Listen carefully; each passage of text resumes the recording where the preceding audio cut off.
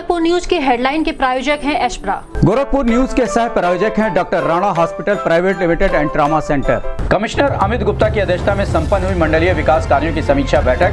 बिना जिलाधिकारियों के अनुमोदन के आरबीएस के टीम का वेतन आहरित किया गया तो मुख्य चिकित्सा अधिकारियों का वेतन रोकने का दिया निर्देश।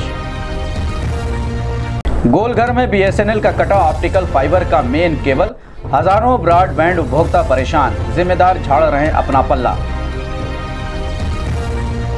महापौर की अध्यक्षता में आयोजित हुई नगर निगम कार्यकारिणी समिति की पांचवी बैठक, विभिन्न बिंदुओं पर हुई चर्चा।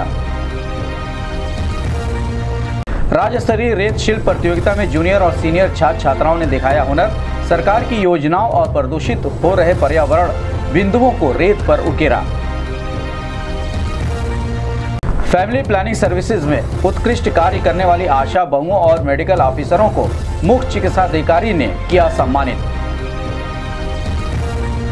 राष्ट्रीय सेवा योजना के स्वयं स्वयंसेवकों ने नगर निगम के साथ मिलकर चलाया स्वच्छता अभियान। कहा, जागरूक होंगे तभी हमारा शहर होगा साफ़ सुथरा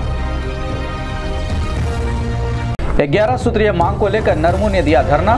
कहा, स्वच्छ भारत अभियान पर करोड़ों रुपए हो रहे हैं खर्च, लेकिन स्वच्छता अभियान से दूर है रेलवे। महाराणा प्रताप शिक्षा परिषद के संस्थापक सप्ताह समारोह ने विजयी प्रतिभागियों का कॉलेज में हुआ सम्मान।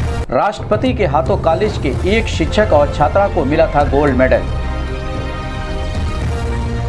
ग्यारह सूत्रीय मांग को लेकर उत्तर प्रदेश प्राथमिक शिक्षक संघ ने बीएसए कार्यालय के समझ दिया धरना, किया प्रदर्शन। मांगे पूरी नहीं होने पर 20 को प्रयागराज में धरना देने की दी चेतावनी।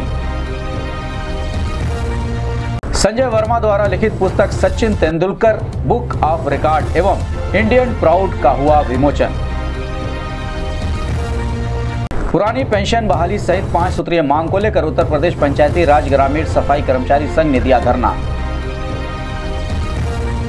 जलकल विभाग के ठेकेदार हुए लामबद भुगतान न होने पर किया कार्य बहिष्कार, आपातकालीन स्थिति में ही करते हैं कार्य।